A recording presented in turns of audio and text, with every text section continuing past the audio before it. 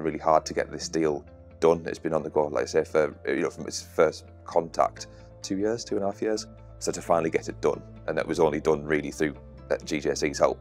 Um, and we've come in, and everyone has been really receptive to us, um, really receptive to the ideas that we're bringing.